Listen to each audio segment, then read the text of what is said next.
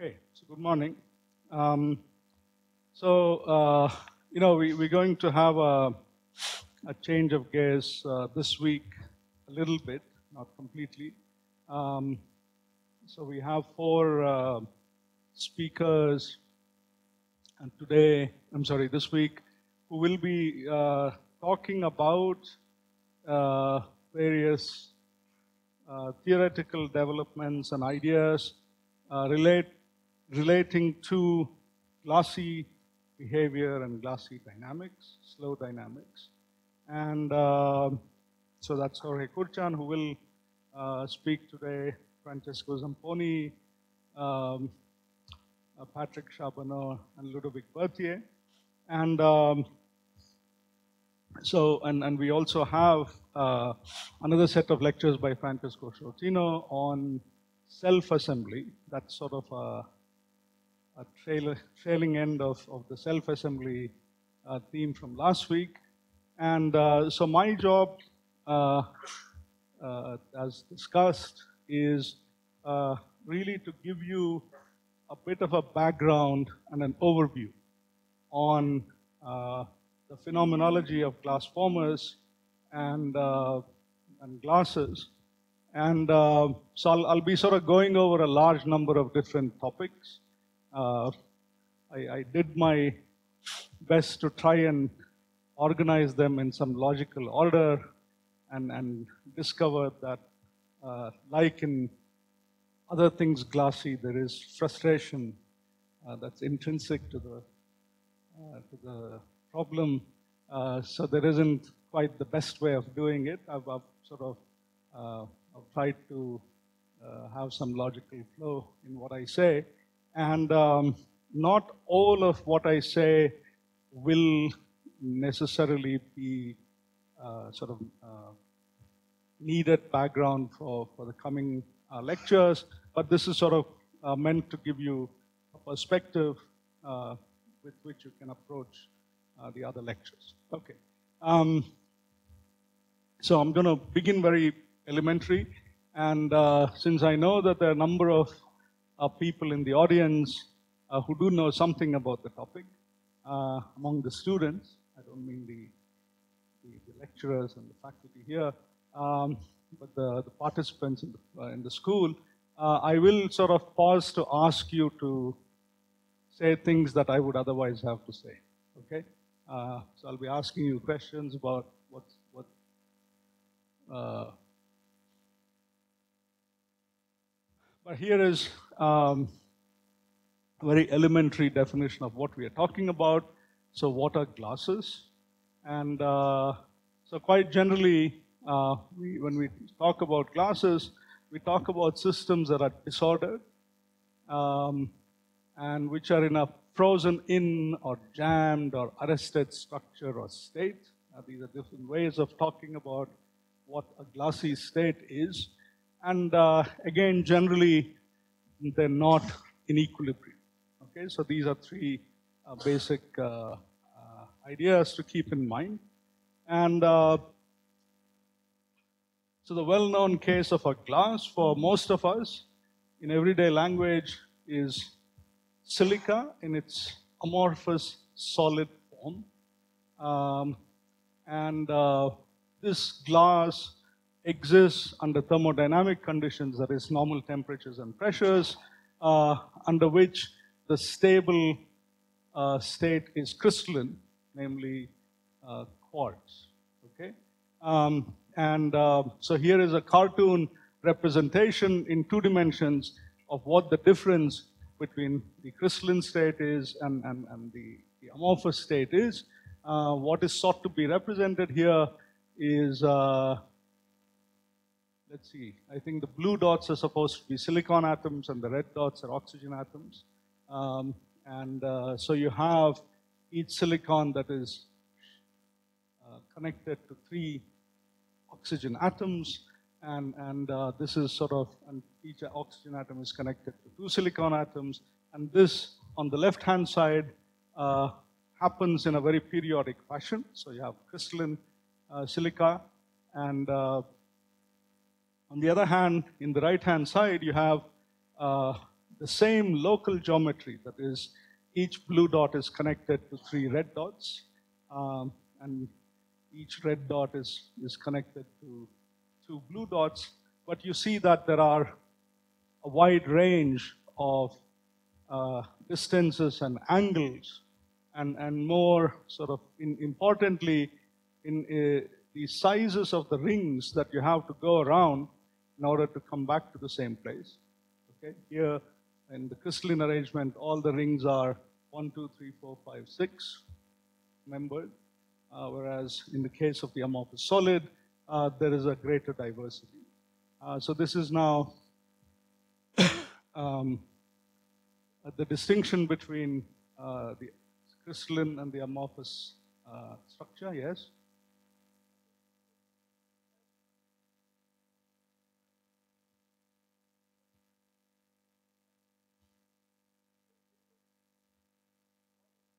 Right.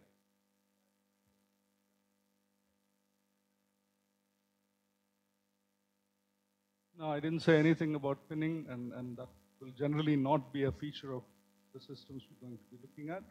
Um, what I mean is simply that, uh, as we will see, uh, in one way or the other, the final state that I end up with in an experiment that I call a class is not, uh, in any sense, a true equilibrium state. It's not an equilibrium. What? That's always the case. Okay. okay. So, um, so then uh, a little bit about. Okay, so you have these uh, funny solids. So why should we care? And uh, um, so I'll say a couple of words about why some aspects of understanding these amorphous solids, uh, glasses, is interesting. And at the top, I, I, I put this quote uh, by Anderson, uh, which is uh, uh, which basically says that you know the nature of the glass is is uh, in, in, his view. this was actually said more than two decades ago. Um, is is one of the most interesting unsolved problems in solid state theory, right? And uh, so, uh, why is that? Uh, a quick run through uh, of, of, why is that when we talk about problems in equilibrium mechanics, uh, it, we, we have a basis to understand phase behavior and properties of substances, and this sort of simple statement is complicated a little bit when one encounters situations where one has uh, metastable states uh, or states that get stuck far away from what ought to be the equilibrium state. Okay? Um, so, so that the system uh, for, for long times is not in the global free energy minimum. Okay? And uh, among between these two uh, categories, uh, metastable states are simpler in the sense that I can think of some set of conditions thermodynamically where the state that I'm looking at, the phase that I'm looking at, is the stable phase. So there's some part of the phase diagram where, as we'll talk, you know, we're going to talk about supercooled liquids. So supercooled liquids, you know, what it is, is easy enough to comprehend because I know that if I am above the freezing temperature, the liquid is the global free energy minimum. Right? Then if I change conditions so that I'm now below the free energy minimum, I'm sorry, below the freezing temperature, then uh, I have a state which is not the global free energy minimum, but I understand that it's, uh, it's an extension of an equilibrium state elsewhere. Um, on the other hand, uh, what I'm calling arrested states, uh, which classes belong to, uh, uh, does not sort of lend itself to a very simple description. There is no simple order parameter description for these states, although we'll, we'll talk about what order parameter description one can think in terms of uh, towards the very end, I think. Um, not related to any stable state. So in other words, if I if I were to think of a glass as a metastable state, I cannot say this is a state that is stable at such and such conditions. Because the only stable state that it's connected to is the equilibrium liquid state. Okay? Uh, but these are not liquids. Right? So there's a difference between a supercool liquid being an extension of the equilibrium liquid versus a glass being an extension of the liquid state. and one key um, feature of these kind of systems is that there is that the set of possible metastable states that you can be in uh, is very large. Okay? And uh, one can therefore associate an extensive entropy with it. And uh, this also goes by the name of complexity. Uh, and the presence of such complexity uh, seems also to be related to rather non-trivial dynamics uh, that one sees in, in, in glassy systems with arbitrarily large relaxation times that in fact lead to the experimentally observed structural arrest transition. Okay? so that's a thumbnail statement of why why these uh, systems are interesting. And so here is sort of a, a checklist of different aspects of uh, so the glass problem. Uh, one which I'll sort of start out with because it's, it's often uh, not something that is, that is paid attention to uh, is the ability to form a glass in, a, in, a, in you know, starting from the liquid state. Okay, and uh, then uh, we have the phenomenon that the, the, the, relaxation uh, of any perturbations uh, in, in, the liquid state become very large uh, as one goes to low temperatures, and uh, what that means we will talk in detail. And then there's the question of when you go from the supercool liquid to the glass, uh, this is called the glass transition. And what is the nature of this transition? Whether it's purely a, a kinetic phenomenon, uh, which invariably is experimentally, but in principle, whether there is something more to it is some question that people have talked about and thought about. And then there is this um, interesting phenomenon, phenomenology of relaxation over uh, very large times, uh, very close to the glass transition, very close to our, our below the glass transition, the name of aging. um, and uh, then one can think about once I've formed the glass, so I've gone below this so-called glass transition, and I'll tell you what that is. I end up with an amorphous solid, and I can ask, is this uh, going to be behaving like other solids that I know or not? Okay. So, um, and finally, um, there is this question about um, how the glass transition relates to other structural uh, processes, and uh, a particular example that's relevant uh, today and in the coming days is jamming, okay, which you already heard about from Bulbul last week. Okay, so just to close this off, glass forming liquids are one example of systems that exhibit what is called glassy behavior. Uh, there are many other uh, such systems, and um, so um, spin glasses is a very prominent example which we'll refer to as we go along. and uh, jammed granular matter, as I already mentioned, is another example uh, which we attention to. of course, in all of this, you know, I was talking about liquids and, and uh, implicitly I was assuming that uh, that what what I'm describing are what are called molecular liquids. Okay, things that are made up of atoms and molecules. Uh, but there are other kinds of fluid states of matter, such as uh, colloidal suspensions, which uh, broadly again uh, go by the name of soft matter. And the soft refers to uh, a very low elastic modulus in the solid state, or, or corresponding statements can be made otherwise, uh, which are in megapascals as opposed to gigapascals for uh, ordinary classes, silicon. Yeah.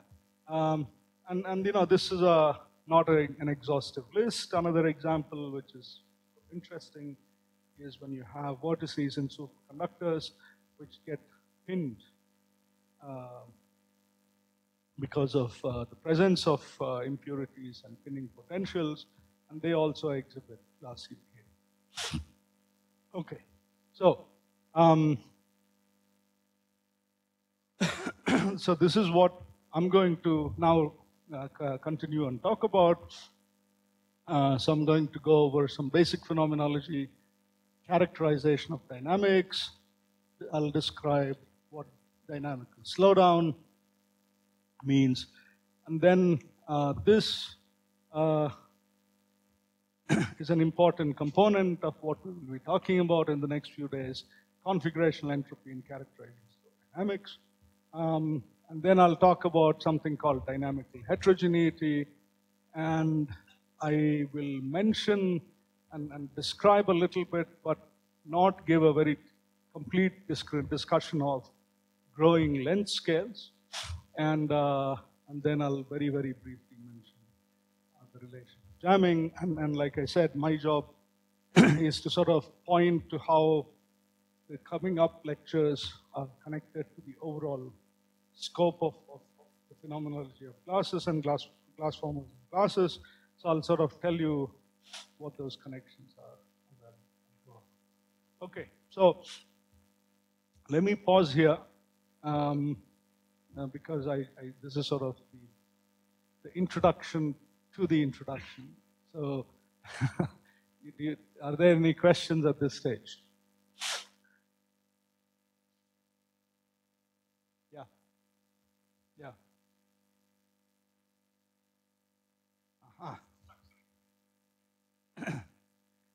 Okay, hold, hold that thought. I will say something about it. Um, there is no obvious, I mean, there's no, um, okay, maybe I'll, I'll answer this now. Yeah. So, and I'll answer this with a, a little story. Um, so I, I, used to at some point think that uh, uh, the local geometry in the liquid state being similar to the crystalline uh, local geometry was kind of obvious. Right? That's how it should be because the same atoms and molecules. And, and, uh, and so when one of my colleagues sort of presented some results discovering this truth about some particular system I was looking, I, I was sort of not very impressed and, and he was not very happy about but later on, uh, in a discussion with uh, one of the sort of big names in, in making metallic glasses, uh, during his talk, he made uh, somebody called Inoue, who's now retired in Japan, in Sendai. Uh, he, he made reference to this distinction between glasses and, and amorphous solids. And uh, so apparently, and I asked him what, what is the difference. And his answer was amorphous solids are those where the liquid structure is very close to the crystal. And therefore, you have to do something not straightforward to make them. Whereas uh, ordinary glasses are those that are obtained by an easy enough procedure of cooling the liquid Okay? And, and that ability to do so arises from there being no direct um, correspondence between the local geometry and the crystal structure, and, and uh, sorry, in, in the liquid and, and in the crystals. Okay? But uh, I don't think there's a very precise answer to that, my knowledge, but that's sort of the practical distinction. So as you'll notice, I'm not going to be making that distinction too strenuously because for, the, for my purposes, it doesn't make it doesn't make. Sense. Okay. Um, other silly questions like that. That's what he said. so, okay, so I'll, I'll, give you one sort of clear cut answer that I can give. Um, so, when you talk about classes, uh, there is sort of always implicitly this question of which degrees of freedom you're talking about when you talk about the glassiness, right?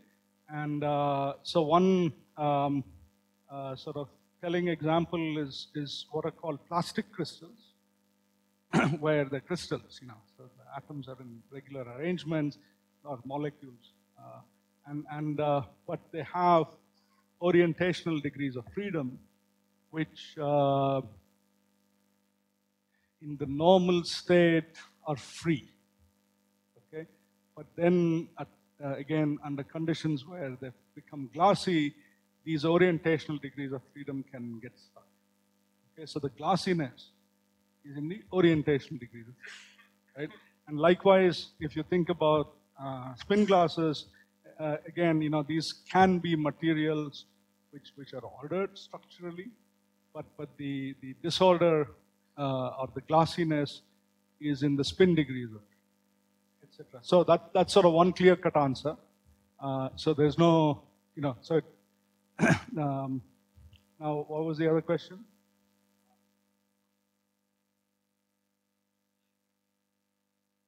Localized?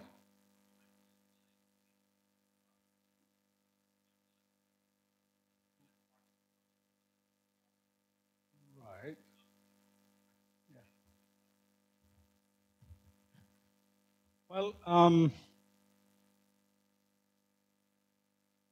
okay. No, I, I, I, I wouldn't dare make a general statement of that kind. And there are obvious counterexamples. Liquids are disordered, gases are disordered. You know, the disordered states that are high temperature phases. So I guess a more um, pointed question that could be asked is if I have low temperature phases that are disordered, are they always glasses? Right? Uh, yeah. Hmm.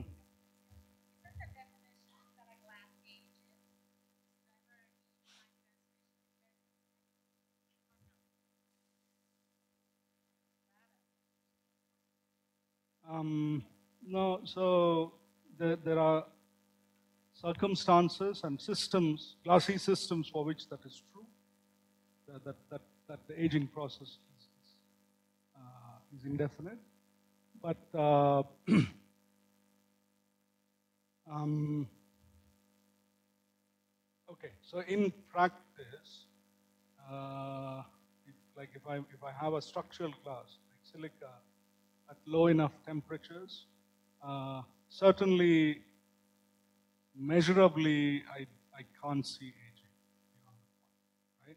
So, um, but uh, you could say, you know, maybe this is happening on a time scale you don't have access to, and that could be true. Um,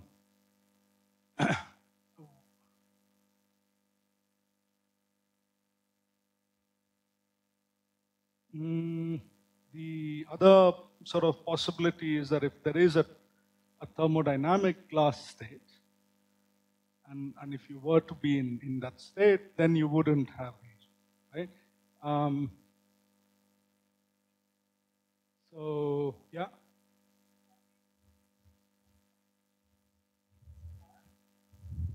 So, um, yeah, I think that's sort of what Bulbul was, was uh, referring to. Um, so the, there are sort of two uh, related aspects which together seem to define what we typically refer to as glassy. One is that there's sort of many possible quasi-equilibrium substates, right? That is, the, the these are uh, parts of phase space in which the system can lo get localized for very long times. And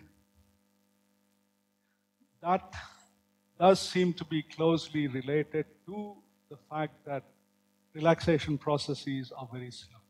Okay? So those two aspects are necessary in order to call a system glassy. Uh, so if, if you have, uh, I guess, I mean, um, so if you take, for example, something like uh, the random field Ising model, right, in the high, uh, in the high disorder limit, I probably wouldn't call it a glass. So, yeah, so, yeah, not, so all disordered states don't have to be glass. Yeah. Yeah.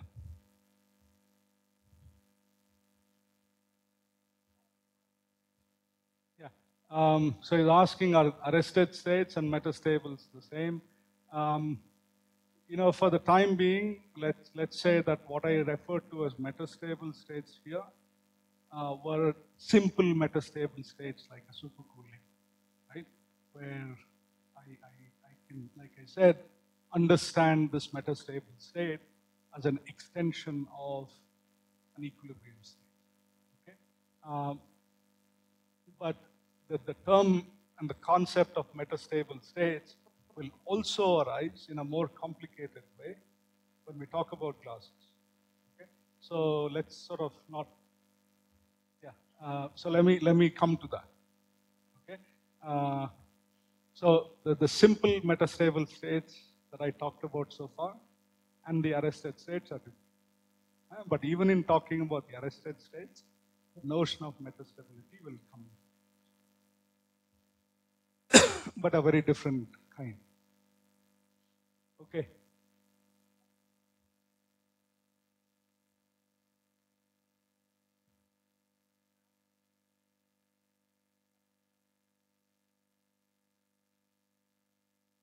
Okay, good question. Uh, that's not, I'm not going to talk about this. Uh, but for, again, for uh, uh um, particulate systems, you can ask that question. And uh, there's sort of two kinds of situations where you could ask that question. Uh, one is where the system you're talking about has um, uh, attractive interactions and uh, ones where you don't. Okay, so the uh, so for systems with uh, attractive interact, sorry, without attractive interactions, where, which are simple. Um, so, you, you know, this kind of system that has been looked at are systems of soft particles, soft spheres. And there you can sort of imagine that if I go to higher and higher densities, uh, I have a higher and higher glass transition temperature, right? And conversely, if I come down in density,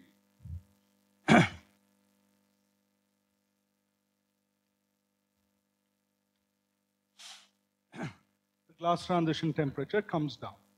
Okay? Now, what seems to be the case is that this will come down all the way to zero temperature um, at a point below which the sphere assemblies do not jam. Okay, if, if I were to look at them in the zero temperature limit, it's a little, I mean, I mean, what I'm saying is not exactly right, but it's close to the, close to the correct statement, um, that there is a low density limit uh, for glass formation in such systems. Now, if you look at um, attractive systems, the situation is a little bit more complicated, okay? Uh, because uh, for attractive systems, I have the presence of the liquid gas uh, transition, uh, which defines a region in which the system cannot be homogeneous. Okay. But then, uh, again, in the spirit of everything else that we're going to be talking about, let's say I don't worry about the fact that I be a metastable liquid or metastable fluid, and I ask, you know, forget about liquid gas transition, uh, but as long as my system is in metastable, can I have a glass transition? Right? So then um, you will have a glass transition line that, that can go on like this, where we understand that uh, below this density, is actually happening in the metastable liquid. Okay? However, uh, there is a second limit uh, that, that one also talks about when one talks about the, uh, the liquid gas uh, transition, which is an instability limit, a mechanical stability limit. and uh, this is not uh, okay.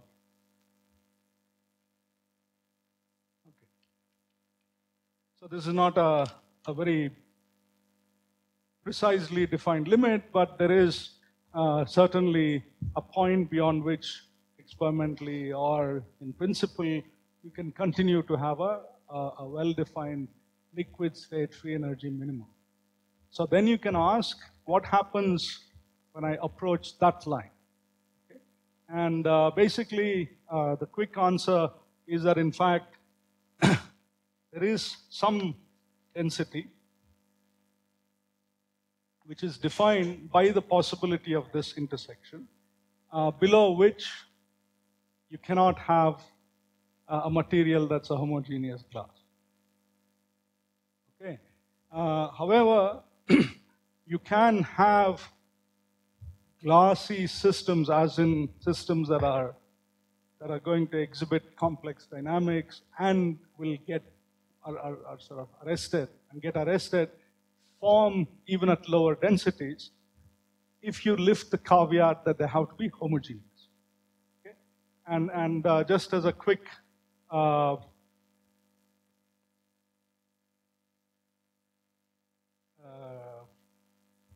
I mean, just to quickly explain why, why that is, uh, basically the idea is if you, if you were to quench a high temperature fluid into this regime,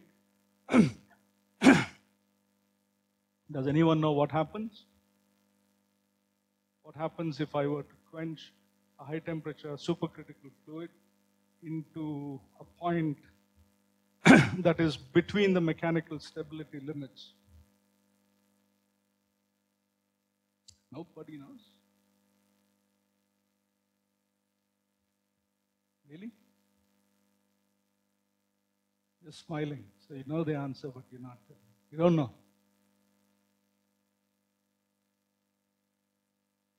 Nobody knows.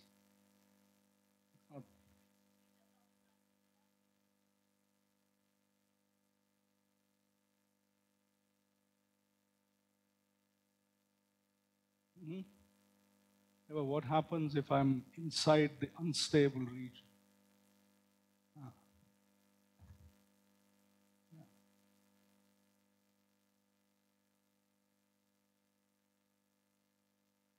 You also don't know the answer. What? huh?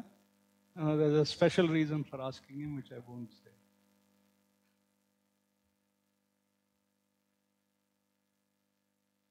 Correct. What happens if I decrease the temperature suddenly? At that, sitting at that density, if I decrease the temperature to below TC, what happens? Hmm? Yeah, say it. No, I, I don't know. So all of them don't know. So what happened? Take the mic and tell.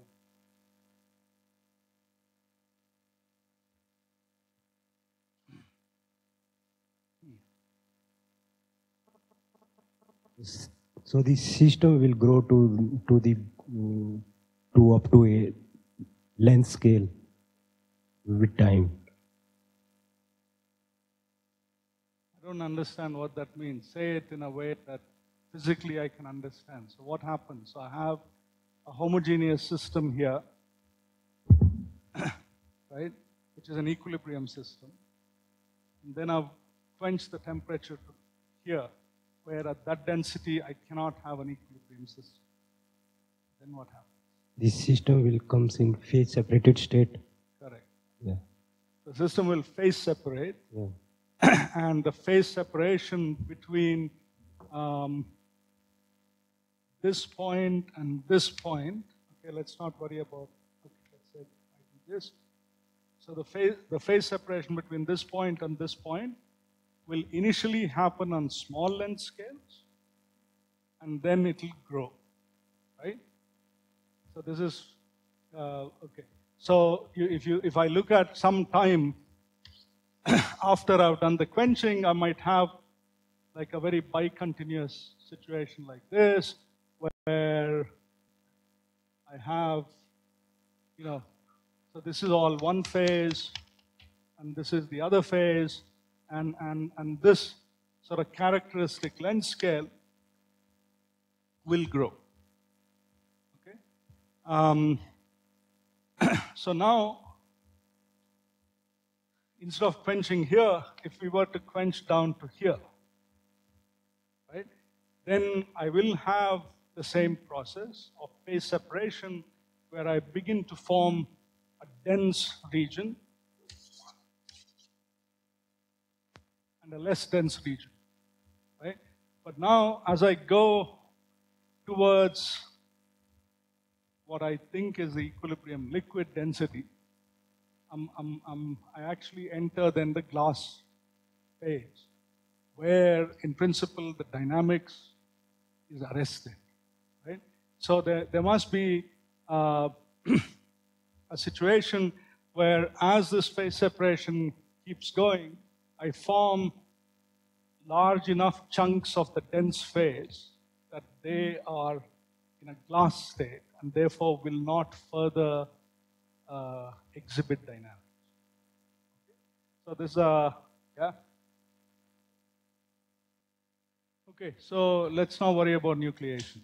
Huh? I'm already digressing too much. But uh, case where we have instability of the homogeneous fluid phase is what I'm talking about. Huh.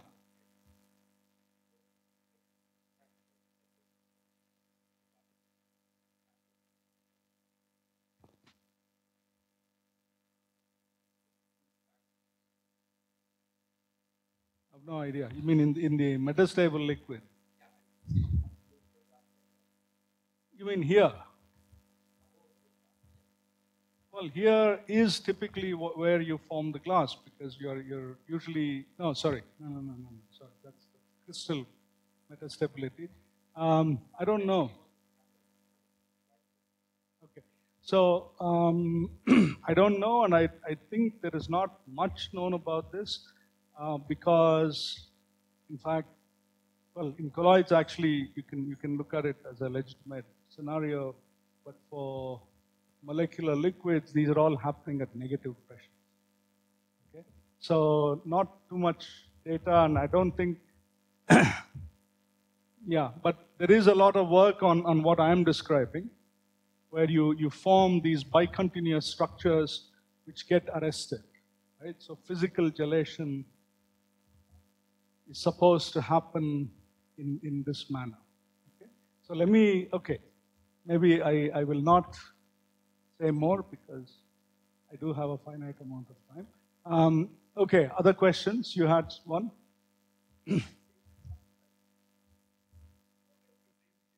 oh, yeah. No, so the, the point is, um, in the Ising case, there is no mechanism to induce glassiness. Okay, but uh, anyway, let's move on huh? because, uh, but that I can tell you more about that later on. Uh, um, so uh, the the, the I mean, in, in, in the Ising case, you, you will have full phase separation. Um, okay, so um,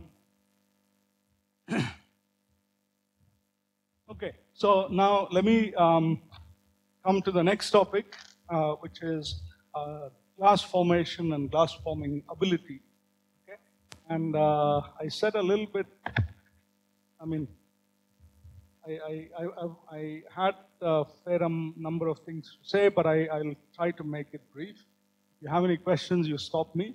Uh, so if you read papers in the glass literature, there is sort of this one uh, simple sentence which dismisses a whole class of physics, right?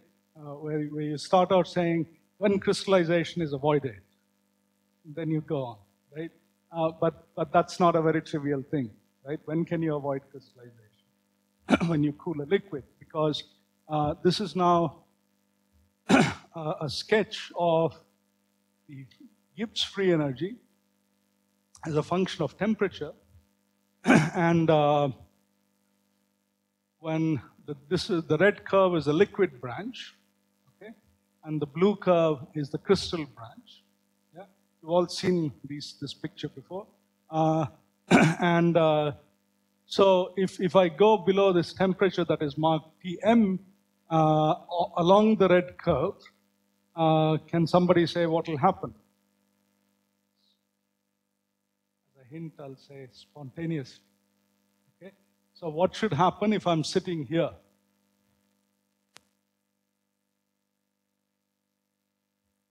Crystallizes because the Gibbs free energy is, is spontaneously to be decreased to the lowest possible value, right? So this branch here below Tm, which is the melting temperature, is the liquid, uh, is the metastable liquid branch, uh, which is um, called uh, also supercooled. And to confuse, some people call it undercooled. Okay, so you decide which you like better, like super or under.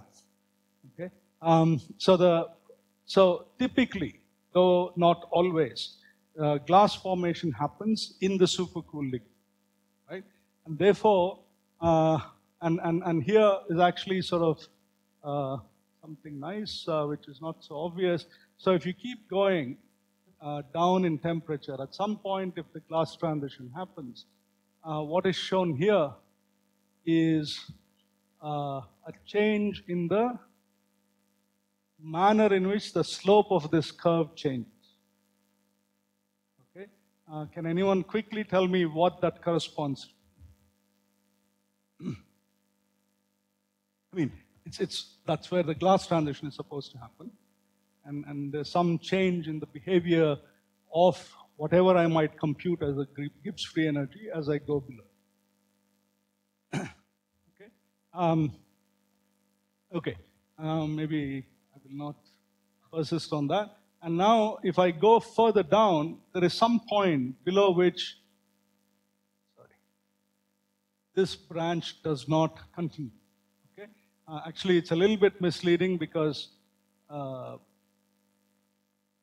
can obviously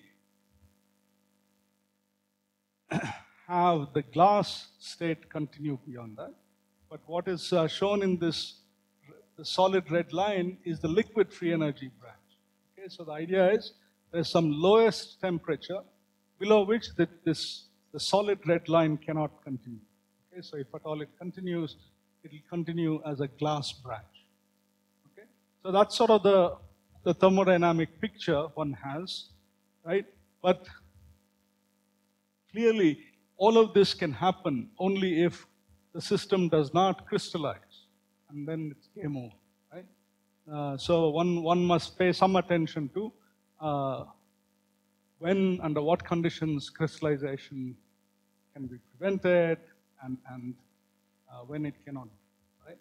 Uh, and the uh, ease with which crystallization is sidestepped is called glass forming ability. And I'll say a little bit more about it. Okay? Oh. But before that, to address something that Vishnu was asking, so cooling a liquid down is sort of one standard way by which you form a glass. But it's not the only way, right? So there are many, many different ways that are shown here. I won't go through all of them except uh, vapor deposition, which is an interesting way that has recently been used by Mark Ediger uh, to create very, very stable glasses. Okay? But the idea is very simple. You have a cold substrate and you drop atoms one by one. I mean, that's not so simple, but you can, you can, you, you deposit vapor onto this cold sub substrate, which is cold enough that when the atoms come, they stick. Okay? And since they're coming in, in some in a disordered way, uh, they stick in a disordered way. And depending on what the temperature is, their ability to reorganize is limited, and they don't typically form a regular structure, but they form a glass. Uh, like that, there are many other different possible ways. And in fact, something you might call an amorphous solid and not a glass is something where I cannot simply cool it down, but have to use one of these other approaches, and that's the only way I can make this amorphous solid. Okay, so um, here, um, when I have a supercool liquid, uh, I have fluctuations that correspond to crystalline order, right? Uh, this is at a finite temperature, there will be fluctuations, and some of those fluctuations will correspond to a local order of the system into more crystalline structures. Then the question is, when will that local fluctuation grow and engulf the whole system, and when does it not? Okay? And the nucleation picture is basically that if I form a certain sized crystalline fluctuation, let's call it a crystallite, okay, uh, then it has two contributions to its work of formation, right? One is that inside that region, the free energy is decreased because the crystal has the lower free energy. Right? But there's also the fact that there is a surface tension between the crystalline phase and the liquid phase. And you know, since these two do not mesh well with each other, there's a surface tension cost. Okay? And for small enough crystallites, the surface tension will win. Okay?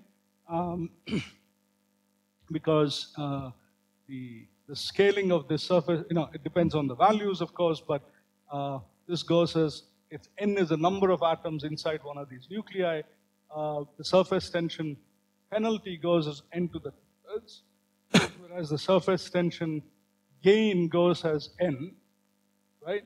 Where n is, uh, sorry, where delta G is the difference in the free energy between the liquid state and, and, the, state, right? So it's a negative number, right? And uh, so if I forget this term, if I look at large enough n, this del, I, some, okay, uh, yeah, the labels are not exactly consistent, don't worry about it. What is being shown here is what I'm calling delta G prime, okay? Uh, so this delta G prime at large enough n uh, will, will keep going down, down, down, because the more of the system that's in the crystalline state, the lower the free energy. Okay? But for small uh, sizes or radii that's shown in this picture, there is this additional term which is positive. So the surface tension is a positive number. So this will go up. Okay? So um, there is a critical size uh, at which this will no longer work against me and, and I begin to go down. Okay? So this is called the critical nucleus. Okay? If I manage to form uh, a structure that's bigger than the critical nucleus, then I will spontaneously crystallize. Okay? Then the question to ask is, how probable is it that I form a critical nucleus? So based on this picture, uh, what will be your answer?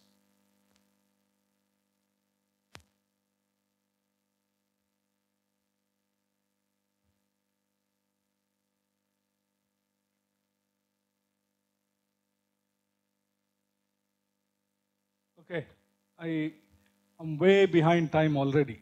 Okay, so you people should answer simple questions. I don't feel like going forward you're not answering these questions because that, that means that I'm going to lose you very soon. Huh?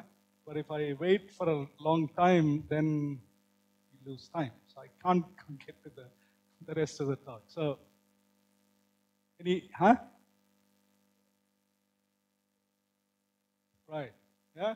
So this is now an activated process where the system has to cross a free energy barrier, and that free energy barrier is this. Okay, the maximum value uh, of, of this delta G. And uh, if I evaluate what that is, uh, based on maximizing this expression here, I find an expression that it's inversely proportional to the free energy difference per mole between the crystal and the liquid. And, and it, it's, you know, it, it's proportional to the cube of the surface tension. Okay, these are detailed. Just as I get close to the melting temperature from below, this barrier diverges. Does that make sense? Because delta G is going to zero and the barrier is diverging. Does that make sense to you? Right?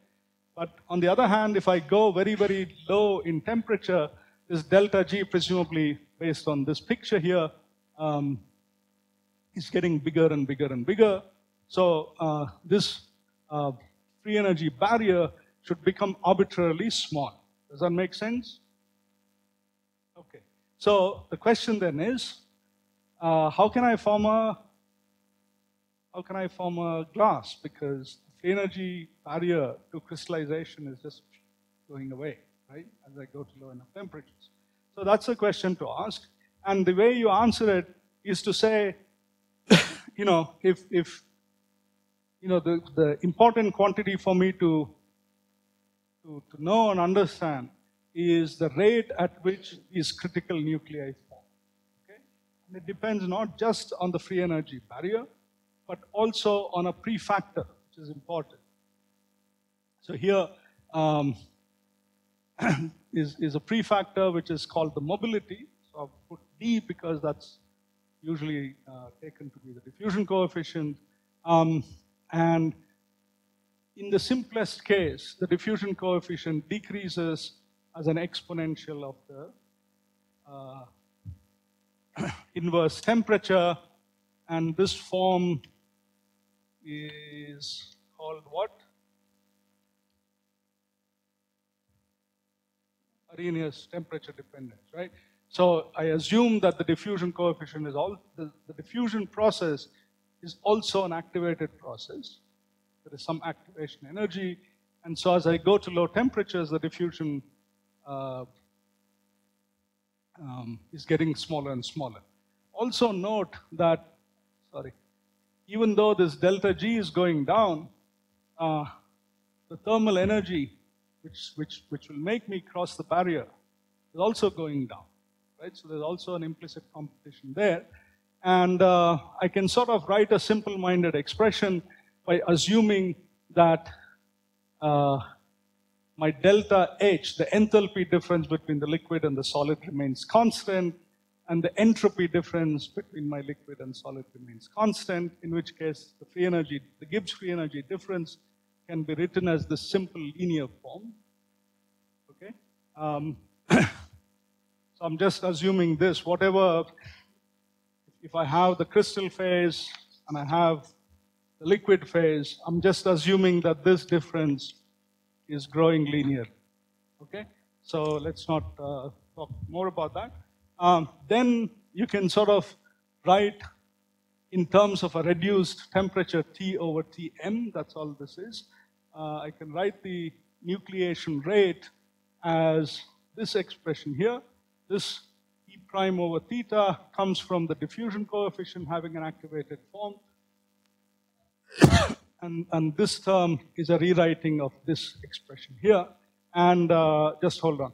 And what you should note is that this is a non-monotonic uh, expression, which means that the nucleation rate, which will start out by increasing, or the nucleation time that starts out by decreasing, will eventually go back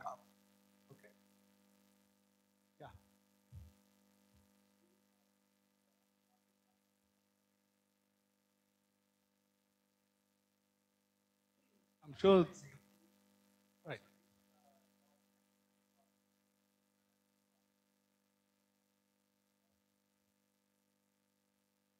Yes, but let's not talk about that. I'm way behind time. Okay. Um, so, uh, yeah, we're talking about three-dimensional systems. Okay. Um, yeah, that, that gets complicated because there is an additional phase to worry about, etc. But uh, let's just say there is a, a liquid phase and a, and a crystal phase. Uh, okay, so um, now basically what this means is that if I take the liquid in equilibrium and I cool it down sufficiently fast, I can, I can go into a regime where I can then comfortably study the formation of glasses. Okay? And, and this is called a critical cooling rate. And uh, so here is sort of a picture of uh, how to understand it. Now, this is um, a representation as a function of temperature on the x-axis of the relaxation of the relevant time scales. Okay? So this time scale here, t, which is called tau 2, is, is a time scale that's associated with molecular motion. Okay? And this time scale, which is called tau 1, is this non-monotonic time scale to the formation of crystalline critical nuclei. Okay? And what is shown here is that this curve lies above this curve? And, and, and so if you go down in temperature at a pace that sort of beats this nose of the tau 1 curve, then you can go into the supercool state where, which is glass, which is the glass forming zone. Okay? And that is represented here where what, these are experimental curves which show the amount of time taken as a function of temperature uh, to transform a given fraction of the system to the crystal phase. Okay? And these are non-monotonic. And the idea is, uh, and, and, you know, there's a little bit of fuzziness here because there is supposed to be implicitly some tolerable degree of crystallinity. Okay? Uh, but let's go with that. Huh? And, uh, and I, I spent too much time on this. Um, but and so the idea is that if I were to decrease the temperature fast enough that I miss this nose, right, for whatever is the acceptable degree of crystallinity, then I, I, I form a glass. Okay? So there is a cooling rate that, that is a minimum cooling rate that is needed in order to form glasses, and this is not at all a serious issue for many molecular glasses that people study, uh, such as orthoterphenyl, which a complicated enough molecule. It doesn't form crystals very easily, um, but it's a very serious issue for stuff like this, uh, which is a cartoon representation of a metallic glass. And uh, so metals, again, won't go into details, but uh, atomic systems are easy to crystallize, and the way experimentalists try to sort of get around this is to, to sort of form uh, multi-component mixtures, and there is sort of a lot of uh, empiricism that goes into what is a, the best way to choose the composition such that the crystallization rates are, are tolerable. So let me leave this topic there. Okay, now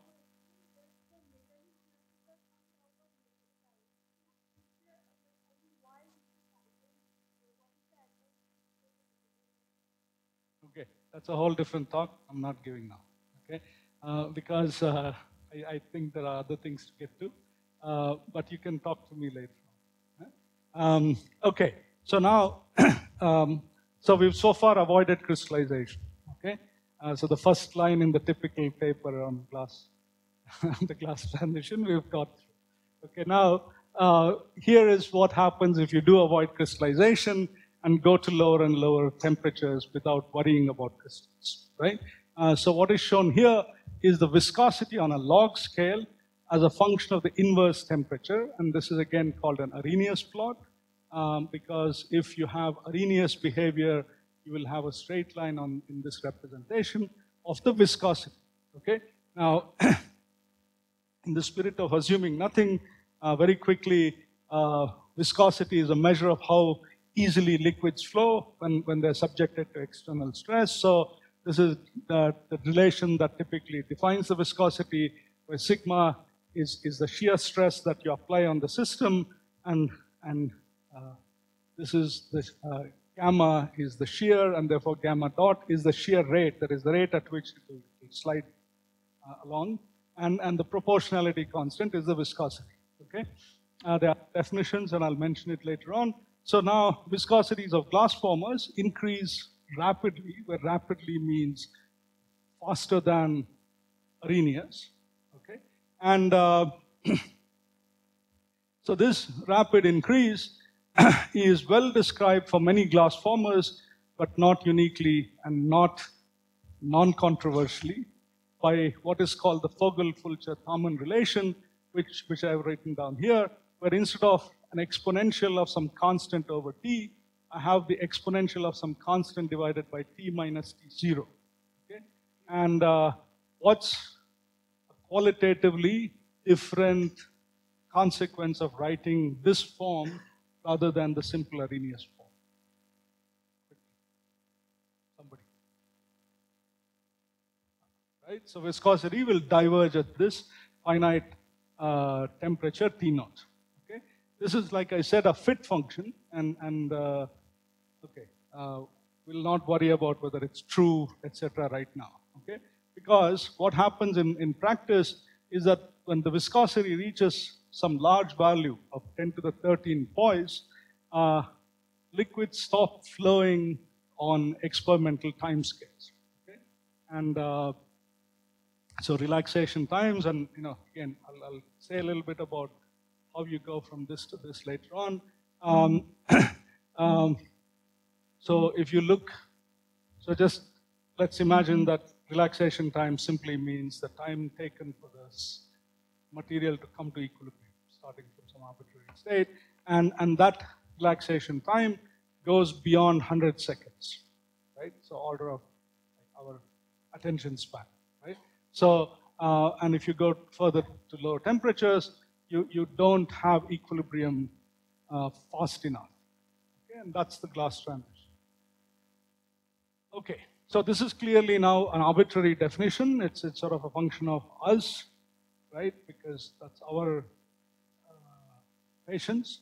Um, but, um, but if you imagine that if you, that you cool down a liquid at some rate, uh, then, and if you keep going, right, then effectively uh, there is a change of properties at this temperature at which you cross a characteristic time scale, or, or a characteristic value of the viscosity, uh, which is dependent on your cooling rate, right?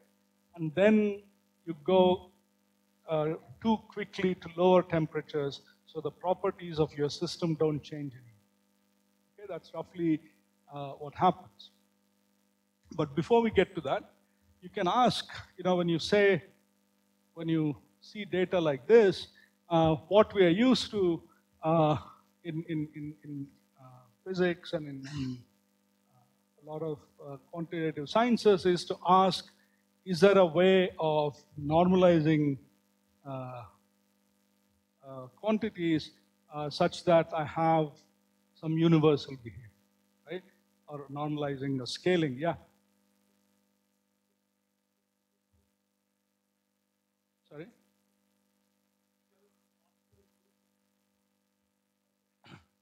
Well, non-zero, where zero is within some tolerance, right? That, that's, that's a quick answer. Because you are looking only down to a certain low frequency limit.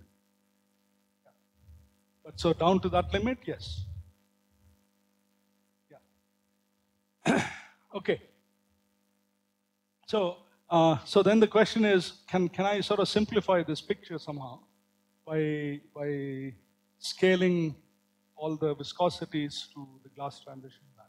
Right? And this is done in this plot. And the quick answer is, so here the scaling temperature is the glass transition, the experimental glass transition temperature. And what you find is, in fact, that there's a whole zoo of, of behavior, right? So at one extreme, uh, you have basically Arrhenius behavior, right? And at the other extreme, you have something that's very strongly curved and uh, uh, apparently closer to a divergence than the, the systems at the other end. Okay? Uh, so these uh, different types of behaviors are quantified by something called the fragility, which is, you know, again, I won't go into the details of, of uh, uh, so I can take this relation and I can sort of rewrite it in such a way that I have a coefficient k, which if it is bigger, I get behavior like this. and if it is smaller, I get behavior like this. Okay, so that's called a fragility index. Um, and and uh, many of the papers that again are written about glass formers uh, refer to fragile liquids, and basically all that means is that they have liquids that show a temperature dependence, which is strongly non-Arrhenius, uh, rather than Arrhenius behavior, because if you simply have Arrhenius temperature dependence of some dynamical or any other property, there's not much to explain. Okay? You may run out of uh, patience at some point, so you can't do experiments lower and lower temperatures, but there's nothing apparently special about this. This is what happens whenever the phenomenon you're looking at has an activation step. Uh, whereas if you have a strong non-Arrhenius temperature dependence, that seems to warrant an explanation. Okay. so, um, this is a different representation of what I already said. Let's say I'm looking at some property like volume or the enthalpy. Uh, I have the equilibrium liquid here and I'm cooling it down. And at some point, I don't, I'm not in equilibrium anymore and I go off on a different branch. Okay? So the slope with which the volume or the enthalpy is changing will change. Okay? So uh, one way of saying that quantitatively is to say that the coefficient of thermal expansion jumps to a lower value. Okay? Um, now, the same liquid, if I were to cool it slower, will exhibit this transition at, at a, a lower temperature. Okay? Uh, so, simply the glass transition is uh, the glass transition temperature decreases if the cooling rate decreases. So the glass transition temperature is a function of the cooling rate. and uh, um, this is again the same plot of the volume versus temperature.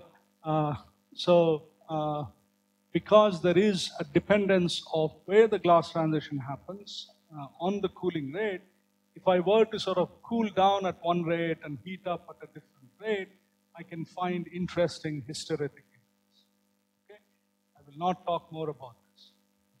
Now, one of the things that happens in addition to uh, a jump in the coefficient of thermal expansion, so everyone knows what that means, right? It's the rate at which a substance expands or contracts when you change temperature. Okay? So glasses expand a contract a lot less than liquids. Um, so here is now uh, uh, another property, the heat capacity. And this is again shown as a function of temperature. There is branch. Normally, when you have crystallization, you jump down to the crystal branch. So the crystal has a lower heat capacity than liquid. Um, but if you were to continue on in the supercool liquid, at the glass transition, there is also a jump down in the heat capacity. Okay? So again, the liquid has lower heat capacity than, uh, sorry, the glass has lower heat capacity than the liquid. And uh, now, again, where this happens depends on the cooling rate. And uh, for different systems, this jump in the heat capacity is very variable and seems loosely to be correlated with the fragility of the glass forms. Okay? okay, now, the fact that the liquid heat capacity is lower, uh, is higher than that of the glass or the crystal, uh, means that if I were to now look at the excess heat capacity of the liquid, right, this is some positive value, right? Which means that if I were to um, look at how the excess entropy of the liquid over the crystal changes as I go to low temperatures, that excess entropy is going to do what? Huh? Now, what is the relation between entropy and the heat capacity? Cp equals. Huh? Speak up, whoever said whatever. Somebody said something, no? T. Okay, so the heat capacity is temperature times the derivative of the entropy, right?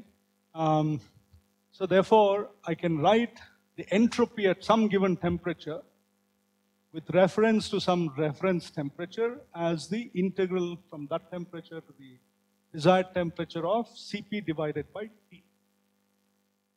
Okay, and since Cp or delta Cp of the liquid over the crystal is, is a positive value, that means that if I'm decreasing the temperature, excess entropy of the liquid, which is some given value at the melting temperature, will decrease.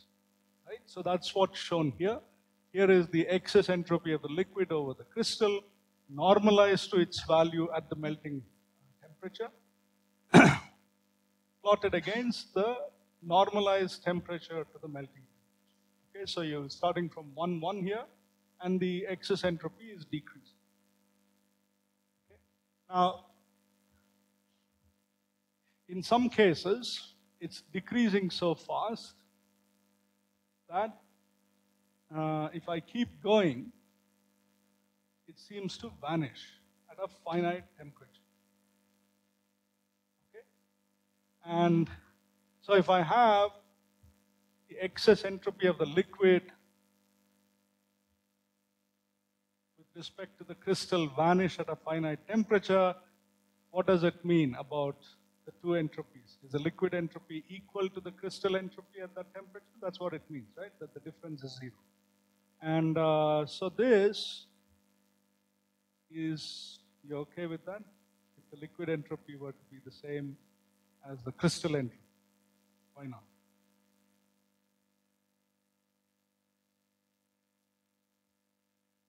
What? No, no, they both have many configurations. Huh?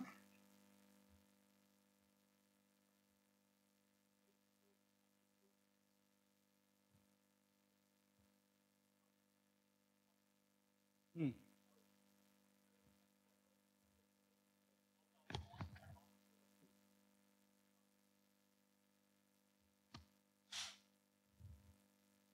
No, so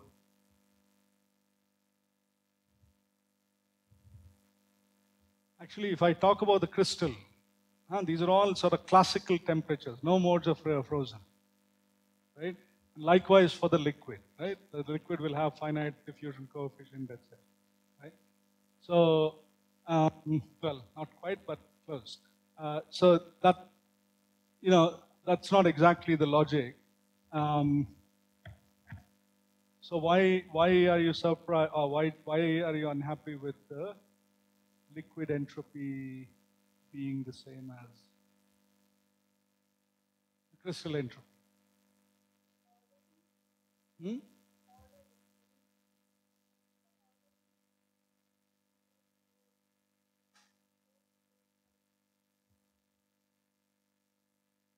Okay, so this this discomfort is based on the idea that crystals are somehow more ordered, and therefore, I mean that's true.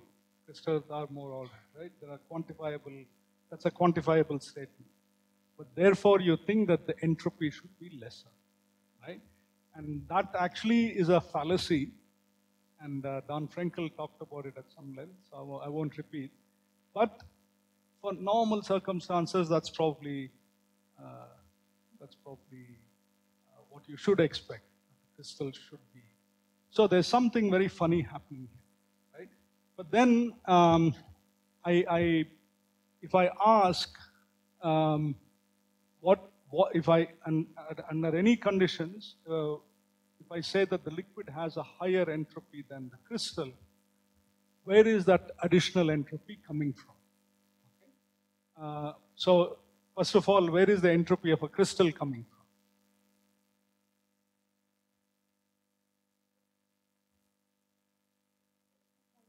Vibrations about the minimum, right? Now, do I have a corresponding component of the entropy for a liquid?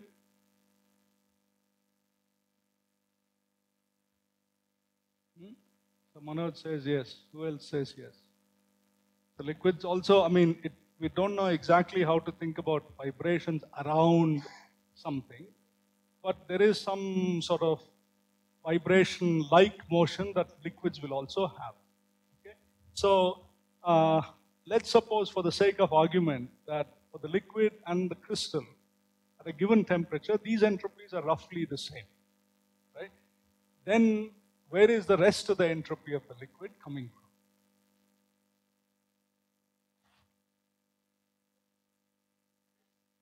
from? Don't, I mean, you know the answer, right? But uh, I'm asking this question so that you can say it in words that you would if you were thinking about it for the first time. But say it. So I'm saying, let's imagine that if I were to think of vibrations around a reference configuration in the liquid, that entropy is roughly the same as vibrations around a crystalline reference configuration. Right? Then where else is that additional entropy of the liquid coming? Hmm? So, in the language that I'm expressing this in, uh, the answer is it's coming from the fact that there are many possible reference configurations I could think of. Right? Um, so, um, so just to summarize, um, first of all, this excess entropy vanishing happens only if I extrapolate uh, the, the measurable data. Okay, so let's keep that in mind. And uh, by extrapolation, this entropy, the excess entropy of the liquid or the crystal appears to vanish at a finite temperature. Okay. Um, and this is considered to be paradoxical uh, based on certain preconceived notions about uh, order and entropy, which we should have gotten wiser about in the last couple of weeks. Uh, but nevertheless, in a normal situation, it's probably uh, okay to be puzzled, right? Um, so then the question is, so, you know, if, if the reason for my thinking that this is paradoxical is, is, is, is valid, uh, what happens? What happens when I cross this uh, temperature uh, at which this excess entropy vanishes? Okay? And the resolution in practice is, in fact, you never quite get there because you always have the glass transition happening before you reach that point. Okay? Uh, so this is a, uh, you, so you dodge the problem, right? Because you always have the glass. So, but then you should ask, you know, that's a pretty funny coincidence, right? That there is this problem of the excess entropy vanishing, but whenever I'm headed towards that problem situation, the glass transition comes to so is that a coincidence? Are they connected? That's one question. Then um, I can say, you know, but if I had and, and the life uh, of astronomical proportions, then I can cool down slower and slower, and I've already sort of been told that the glass transition temperature will go to lower and lower values as I cool slower. Then eventually what happens? Okay, so then I must be able to reach in equilibrium, where I mean by equilibrium anything but the crystal, so let's not uh, go back to that issue.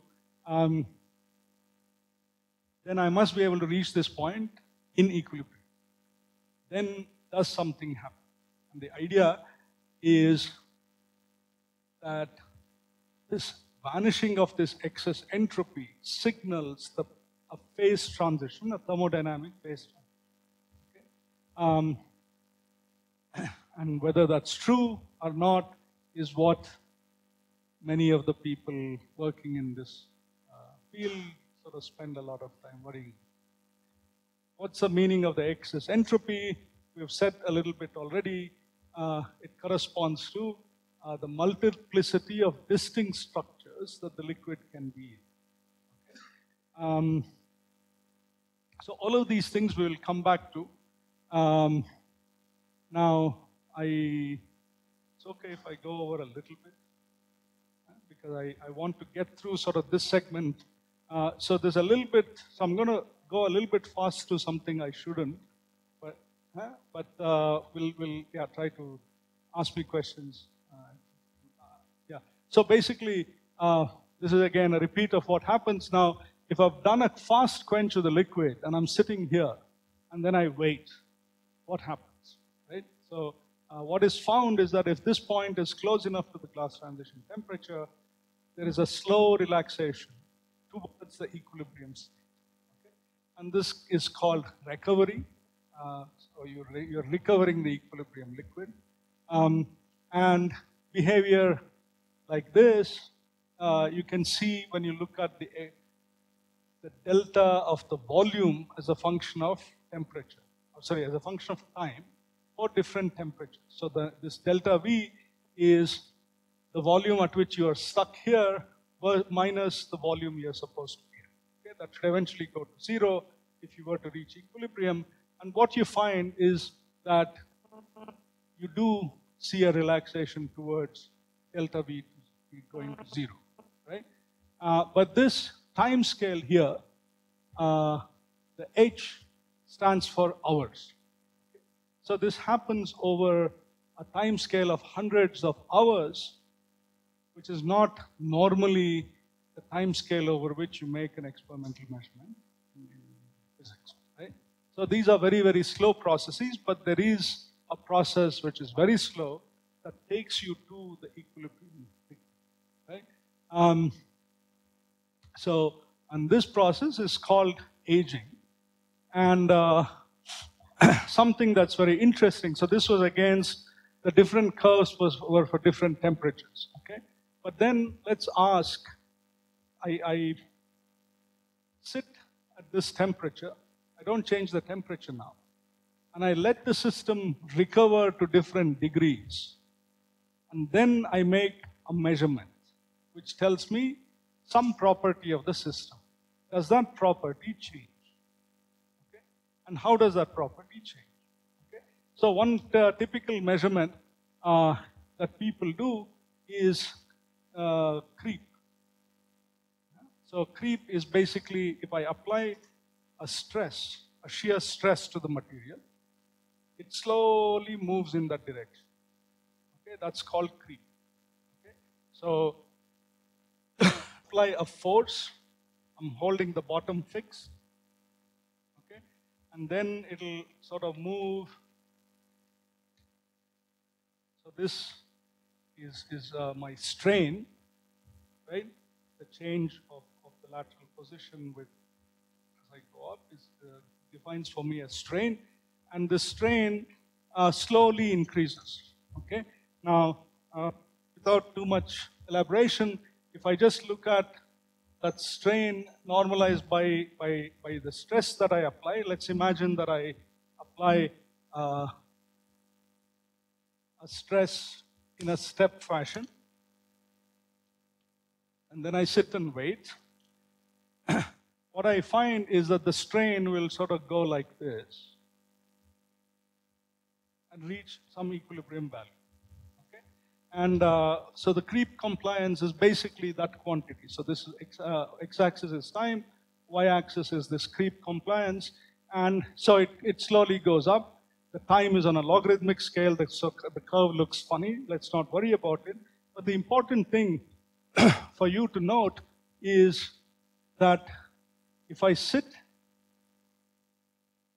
for some amount of time and then I make this measurement,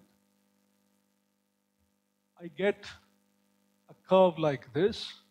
If I sit for longer and make this measurement, then I get a curve like this. If I sit even longer, and so you get the idea. So the longer I recover the system, the longer is the time required for me to reach the same compliance when I make a creep compliance measurement. Is that clear? Yeah. So if I attach, let's say for this value, 3.5, the time taken to reach a compliance of 3.5, I call my relaxation time, right? And the time that I've sat at this temperature, I call the waiting time, right? Then what is found is that this relaxation time goes as the waiting time to some power. So the longer I wait, the longer it takes me to reach the same compartment.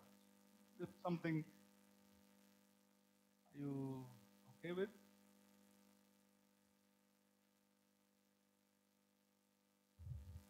Okay. Anyway, it's it's rather interesting behavior that requires some explanation. Okay, which I'm not going to offer, but I'm going to tell you one more thing about how aging behavior manifests in, in, in something dramatic, and then I'll stop. Um, but actually, I have to go through. Should I stop here and then next?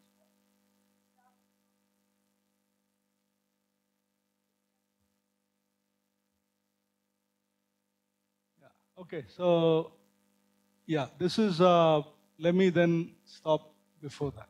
Okay. Uh, because that that may be. But uh, you know. But then I speak after lunch. So is that a better time? I'll stop. Okay. Uh, yeah. So let me stop here. Where, which. Uh, um, yeah. So this is now. Uh,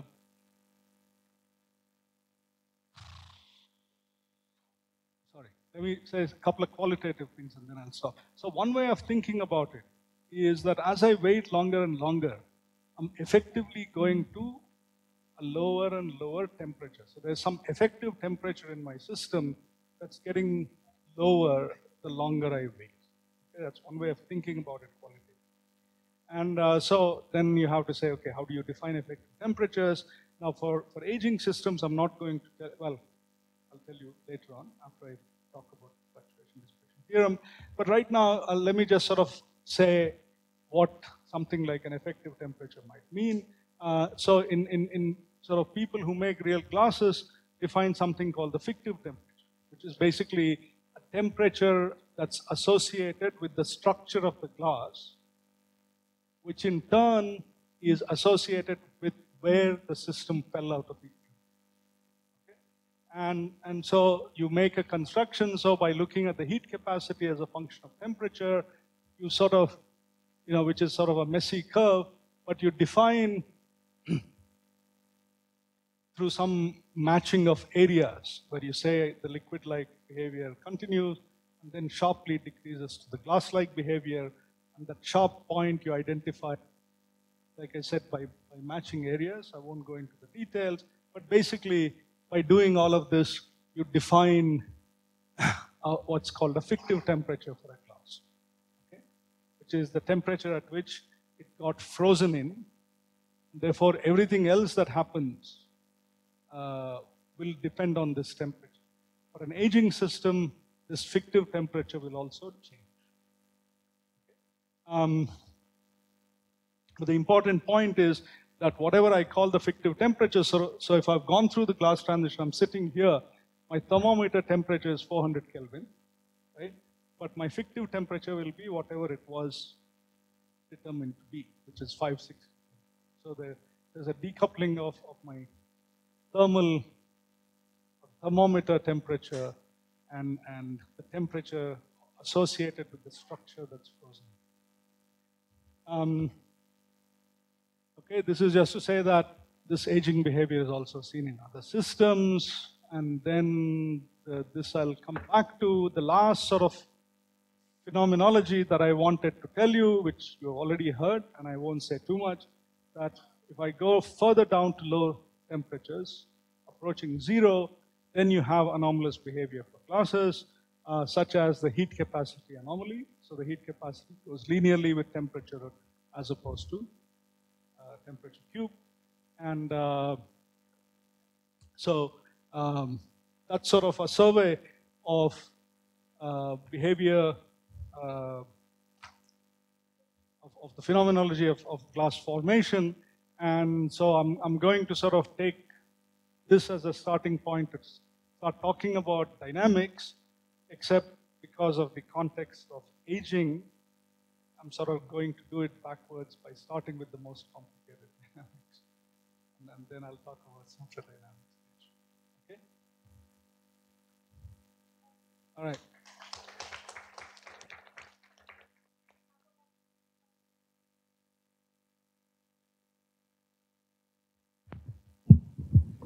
Yeah.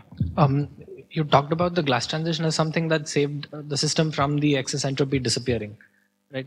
So in a typical first order, uh, if, if let's say uh, the glass transition didn't happen, then wouldn't the uh, homogeneous nucleation temperature also save it from that thing anyway? Um, Um, in fact, that that's sort of the the way out that Kauzmann originally proposed. Homogeneous nucleation would always intervene, right? But uh, but it, and and that seems to be the case for some glass formers. Um, but uh, because of the reasons that I outlined in the first part, which is that the, the mobility changes in the glass in, in the glass former will also make a contribution to the nucleation rates. Uh, a, more typical situation uh, is that you can actually uh, circumvent homogeneous nucleation and go to the glass. Uh, I mean, you know, there are obviously systems where homogeneous nucleation will kill you, and that we don't study. They're not glass formers. And then there are systems which where you can get around it, and that's the, those are the systems we call glass. Yeah, that was the whole point of talking about glass forming ability in the beginning. There are situations that you know you do have to get around homogeneous nucleation. Yeah.